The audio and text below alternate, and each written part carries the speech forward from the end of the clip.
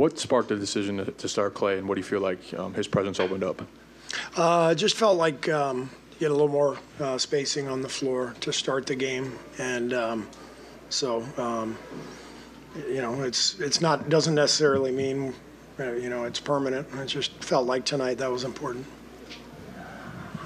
And what stood out to you, obviously, from the second half, just just able to just turn it up and outscore them those two final two periods. Much better uh, level of uh, competitiveness in the second half. Uh, I thought they outcompeted us in the first half, and um, you know they were making it difficult for us to get the ball across half court. Uh, they were playing really, really hard, and we didn't match that. In the second half, I thought we uh, flipped that around. I thought Wiggs' uh, defense on uh, Terry Rozier second half was uh, one of the keys to the game. I thought J.K. Uh, really did a, a great job competing, coming up with some rebounds and loose balls, and and great to have Loon back in the lineup. You know, Loon represents. Um, a lot of what we're about, you know, just the professionalism and and um, staying ready. And we've missed having him out on the floor, and uh, it's great great to see Loon step in and, and play well and help us get a win. How good was Draymond on, on Bam? Uh, yeah, Draymond w- was great. I mean, I, Bam hit so many tough shots tonight. Um, you know, all you can can really hope for is to keep him, you know, away from the hoop. And he made, um, I don't know, it felt like seven or eight turnaround fadeaway jumpers. Um, but Draymond made him work for everything that he got, and um, you know, I thought that was really key. And you know, we didn't have to double, so we were able to to guard the three point line pretty well. And uh, Draymond's always you know, a a key to our defense, but especially so tonight. Coach, you held the Heat to, uh, I believe, 37 points in the second half. You mentioned the second half competitiveness being much better, but what do you think was the key other than just, was it just guys like guarding their yard better, or what led to that? Uh, just I, I, like I said, I think Wiggins set the tone with his defense on on uh, Rozier, and better better ball pressure, but also uh, better um, job of staying in front and not allowing as much penetration as we did in the first half. Steve, obviously, the, the record's better on the road than it is at home.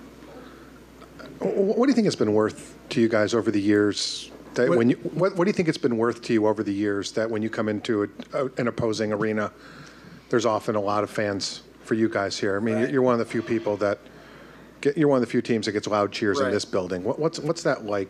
The collective of that been like for you guys over the years? Yeah, it's it's great. I mean, you know, you walk into any arena um, in the league on the road, and there's automatically, um, you know, just um, blue and yellow jerseys all over the place. You know, Steph's got so many fans uh, across the country, and a lot of people cheer for him no matter where we are. And um, you know, so that that, that part is is nice. It's um, I, it didn't work last year, so it's working again this year. I yeah, I don't I don't know why. You mentioned their their pressure, their ball pressure, giving you guys some issues in the first half. They play a bunch of different variations of defense. It's all on tape. Um, did that full court pressure catch you guys by surprise? I guess. And how different is preparing for this team versus other teams? Yeah, I mean we we expected it because that's what they do. They you know they play a lot of zone. Um, I don't know where their numbers are this year, but historically they're one of the uh, the, the, the most um, zone heavy teams in the league. And, um, you know, especially when they're shorthanded. Um, I know Spo well. Um, he's challenging those guys to, to pick up full, to, to get into the, you know, into the ball, full court pressure. They got a, uh, an eight second violation on us in the first half, a, a couple steals, and and I thought that kept them in the game, and, and I just felt like we matched it much uh, much better in the second half. We were more aggressive attacking uh, the press. Another one of Miami's defense. Just what's the challenge of going into a game and preparing for Bam defensively? Like what what's unique about him? Well, he's unique in that he can uh, he can push the ball in transition. Um, he's the fulcrum of their offense. You know, um, they give him the ball and they, they start running their off-ball actions, dribble handoffs. Um, but he can also be the lob guy, set the high screen and dive. And as you saw tonight, he can make that, that mid-range shot um, with ease. So he's a great player. So obviously, the, the second half, you guys were able to just turn it up compared to the first. What stood out to you from that second half? Uh, I think we just ramped up the intensity. You know, uh, they kind of beat us to the loose balls in, in the first half, uh, kind of slowed down our pace. And I think when we got out and ran in the second half, we was able to get stops. Uh, we was a lot more physical, and I think that changed the game.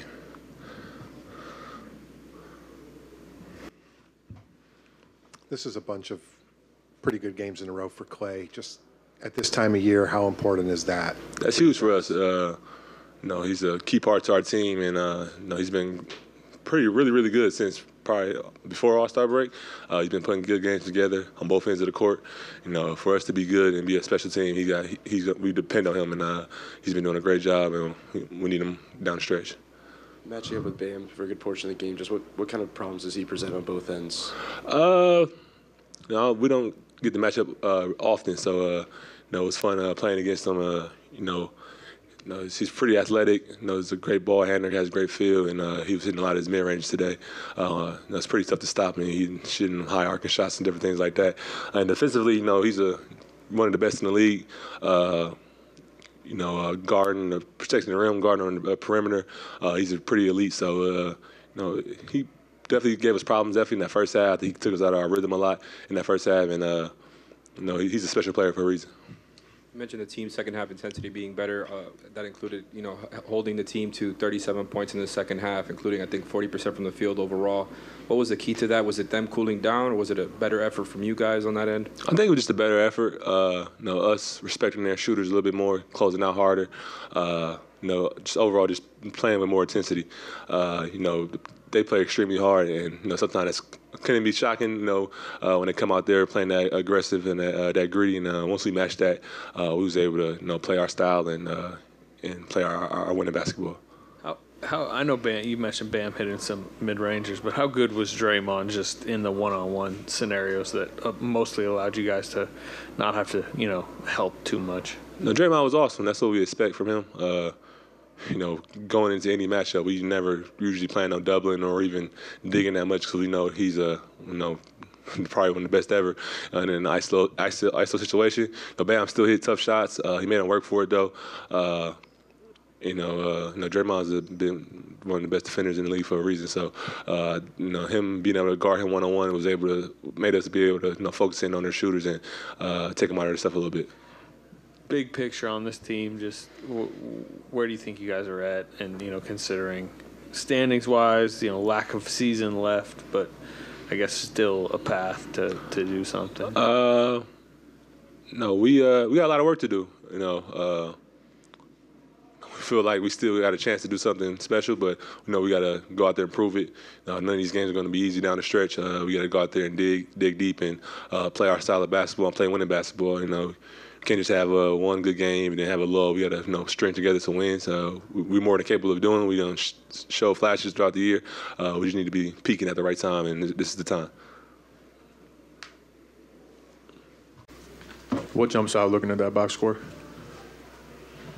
Um, I'd say our uh, assist to turnover ratio is really good. And that's always a great indicator of just a good night at the office. You're basically played the same minutes tonight that you had been coming off the bench. Is it different though, starting? Not really. I just try to keep the same approach. Uh, have fun, communicate, get great looks, and uh, just yeah, those those three things. I, I think you have like fifty something made threes this month on Mm. on, on forty This guy's trying to jinx me. some percent. Um, how I. I know, even in the the rougher times this season, you felt good shots and, and your shot was there. But like, how good a rhythm do you currently feel in? Uh, I feel really good. I would like to repeat this performance in Orlando tomorrow night because these games are so crucial, obviously. And I think it's just about enjoying this, obviously. But once we get on that plane and we leave Miami, we got to turn the page because uh, the NBA does not wait for you. So we got to. We got to focus, man. They're, Orlando's playing really good, too, so we got a big task tomorrow. You held the Heat to 40% shooting overall, and I believe 37 points combined in the second half. What was the key to that? Was it more? It was a, be- a better effort from you guys. Was it them cooling down? I think uh, we played well as far as not letting them get downhill and in the paint repeatedly. I mean, Bam is a really good player. It helps when they're not when they're missing, you know, their elite scorers and Jimmy and Herro. So that obviously, or that obviously was a big reason why. But other than that, um, give Draymond great credit too. I mean, he made it hard on Bam. Bam made some really tough jumpers on him, but uh, Draymond's such a great post defender. He uh, he's hard to go against for you know 35 to 40 minutes a night. Obviously, you, you mentioned how you feel good in terms of your play, but what pride do you have in terms of just just the second half of your play yourself individually? I mean, I've been prideful ever since I laced up basketball sneakers. Uh, you know, a lot of my, um, you don't want to say identity, but of who I am is reflected how I play on the basketball court. And my father was a hooper. My older brother is a hooper, and I am as well. So I take great pride in just trying to be my best nightly. It's a really hard thing to do, but it's uh, what the greats aspire to do on a nightly basis, and um, I'm just a prideful player at the end of the day. Klay, I wanted to ask you about Kuminga. Is there something specific that you've seen evolve, or is this just time and reps Yeah. and work? Just I think his uh, I think his rhythm to the game has gotten so much better. He knows when to take a jump shot. He knows when to attack. He plays above the rim. He's a two-way player and he's oozing with potential. And then you forget he's only 21 years old. Um, so you get excited for his future. I mean, I've been very impressed with the work ethic he's displayed the past couple years, and I know he's going to be a future star in this league. Uh, had you met Neymar before? Yeah, we met. Uh, we met all the way back in 2016. So I've known Neymar for a while, and big fan of basketball, and we're all a big fan of football. So we just uh, respect his greatness. Klay, the Heat have been a team known to give up, you know, some of the most threes in the league for years now. And with Oh, going dang. into tonight, do you know, you know, I'm, I'm sure you know that going in, was that part of the, the strategy as far as you, you know, having such a big game tonight, just knowing that that was going to be available for you? Uh, we do know that they help. They're a very great help defending team, and they cover up their mistakes well. For us, it's a we thrive off making threes. Obviously, Steph and I. So we see a couple go in. It always helps early, and uh, it was an emphasis to draw two and kick to start the game, and I thought we did that well throughout the whole 48 minutes. You mentioned, you know, kind of the importance of the Orlando game tomorrow. Mm-hmm. How late is it starting to feel, and and how challenging is it starting to feel with what's you know ahead of you guys standings wise, lack of time left? challenging, um, but you can't be intimidated by what's ahead. You just got to take it one game at a time. And most importantly, have fun and play your hardest, and you can live with the results. And uh, but like I said before, you can't look ahead. You just got to do what you got to do that's in front of you, and it happens to be the Magic tomorrow. Now that the team is almost fully healthy, how is the team uh, confidence that you guys can make a big push heading into the playoffs? Very confident. It's been conf. I mean, we're very confident we can make a run, but uh, we're not even thinking about the postseason. We still have whatever 11, 12 games left, and we want to finish as strong as possible. Whether it's nine wins, 10 wins, 11, we know it's doable. So it's about just uh, simplifying things and just looking ahead to the game tomorrow. Steve praised uh, Andrew Wiggins' defense on Rozier, especially in the second half. Um, it seems like he's been a little bit more aggressive offensively recently. How different is this team when, when he is kind of hunting his shot and, and getting going on both ends? That's why we won the championship a couple years ago is because of Andrew's two-way play. We obviously need him to be that, to go where we want to go, and he's so vital to what we do. Without him, we cannot reach our full potential. So we all love Wiggs, and we know what he's capable of. And like you said, his defense is when he's playing tenacious defense. It's uh, it's going to fuel his ability to get to the rim, and just his confidence will improve as well. Nice. Uh, what dynamic did, did Klay bring back to the starting lineup tonight? Uh, just obviously he's his gravity. his ability to give us, you know, spacing on the floor. I think it, uh, it was an effort to unlock J.K. and Wiggs, you know, give them driving lanes and you know get them more involved earlier in the game. Obviously, Miami is they're really kind of sneaky in some of the defensive schemes they have and zone man, uh, you know, different coverages, Bam protecting the rim. So it's helpful to have you know Klay out there doing what he does. Um, and it's a credit to him just in general and being able to respond to whatever he's been asked to do this year, uh, whether it's coming off the bench, whether it's starting. Uh, most people think that might be, I don't know, maybe they think it's easy to just transition from one to the other, and it's not. You have to kind of prepare your mind to, you know, Uh, and your body to be ready for whatever you know is is thrown at you. So it's credit to him and his his his attitude and his preparation, and you know, going out there and hooping the way he does. Steph, you guys held the Heat to 40% shooting in the second half, and I believe 37 combined points after them shooting about 51% in the first half. What was the biggest change for you guys on that side of the floor?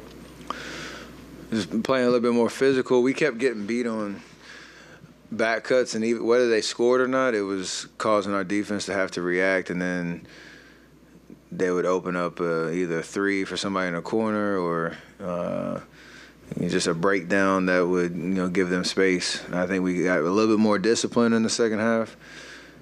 It's the NBA. There's so much talent out there. Obviously, they're missing a lot of guys. Um, but if you give you know them confidence and you know their patterns start to you know attack you, that's when they're they're lethal. I don't care who's out there. So we were very much more disciplined in the second half to keep things in front of us, make them take tough shots, and you live with it.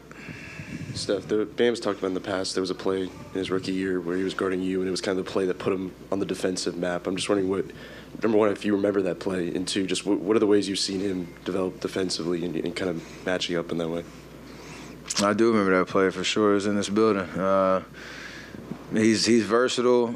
He's long. He can move his feet. He, he's obviously a great rim protector, and you know there's a reason they've been in the finals twice. Uh, obviously, you know what Jimmy's able to do, and the, the guys around him. But Bam's a huge part of connecting the game on both ends. He's obviously a great uh, weapon on on the offensive end with his he can put pressure on the rim. He's got mid range. He hit a three tonight. They run a lot of actions around him. So then you add that to the defensive, you know, presence. That's why he, he's an all star. That's why he is who he is. Steph, there's a lot of teams that can make a reasonable argument why they're going to be the team at the end that wins the whole thing. Is this the most parity? Would you even call it that? Is this the most parity that you can remember? And is it good that there's a lot of teams that clearly have stepped up in recent years and are com- can compete for the whole thing?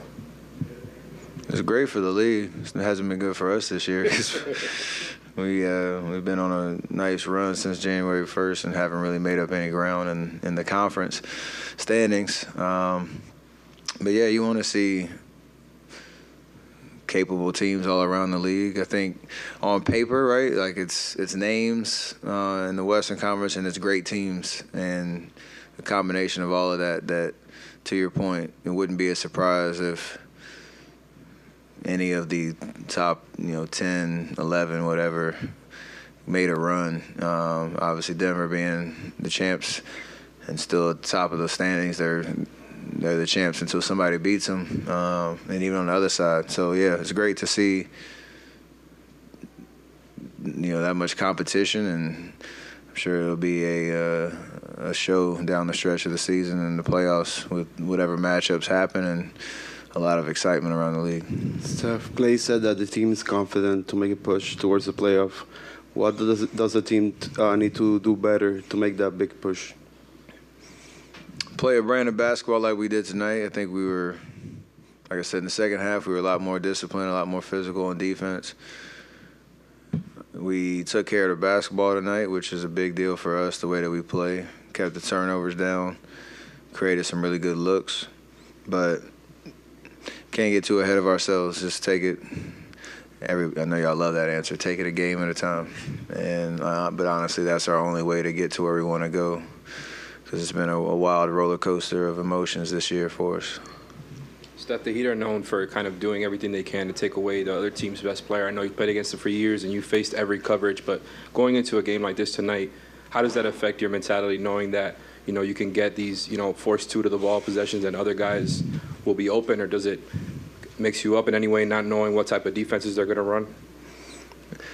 It challenges you to kind of see the game. Um, like and I was kind of talking about earlier, whether it's a zone possession, a man possession, they were pressing. It tests your patience for sure because you got to be. You don't know when your looks are going to come. You know you're going to see bodies. I think there was a couple possessions I came off of pin downs and caught it, and there were two people there. Got by them. There's another person back there, and we swing, swing. We got a good look. Uh, they were trapping off of ISO uh, possessions and get the ball out of your hands and swing it, find the open guy. They got Loon that dunked down in, the fourth quarter because they were paying a lot of attention to our perimeter. So as like, as long as you just stay patient and see what's in front of you, keep your turnovers down, don't get rushed, then whether I'm taking a shot or we're getting a good look, that's good offense. And uh, you, mentioned the roller coaster of the year, obviously with emotions and uh, quick turnaround for you guys with, with Orlando. But what, what stands out to you to some of the some bit of the success that you guys have had on the road? That's why we think we're still a good team that can beat anybody because we can. You know, our defense can travel. You know, we've had good performances. Even at home, we've had big leads on good teams, but have let them slip. So, you know, we don't. Uh, our record doesn't. You are what your record is. I mean, that's what the the line is. But we do feel like we've kind of underachieved on that front, and but there's still belief that you can get hot, that you can establish the identity that you need to have uh, to be a, a, team that can win four games against anybody in the Western Conference in a playoff series. And until we don't have that opportunity anymore, we're going to still believe it. Just a follow up on the earlier questions about the way the Heat toggle between defensive schemes, um, why do you think more teams don't play that way? You have to be a very disciplined team and a very connected team because it requires a lot of trust and communication. Um, obviously, have a great coach that year after year, uh, you know, they have their core, but they fine guys that plug those holes and play a certain brand of basketball. So if it was easy, everybody would do it, right? How good has Klay been for an extended stretch now?